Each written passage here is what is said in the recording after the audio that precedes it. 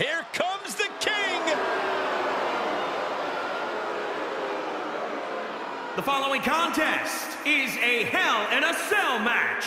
Making his way to the ring from Memphis, Tennessee. Weighing in at 235 pounds, Jerry the King Lawler! I don't know whether whether to stand, whether to kneel. How to properly pay my respects to the king.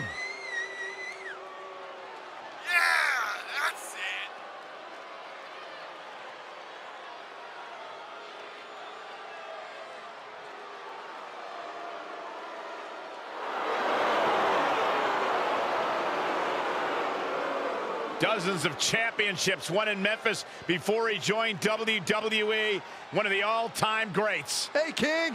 The flying fist drop. It was actually an honor of mine, Corey, to be able to have uh, been hit in the mouth by the flying fist drop at one point in my career. Well, the king looks ready to deliver a royal beating. Maybe to you again, Michael. Maybe to Cole, but King won't let you near his crown, Saxton. Oh man,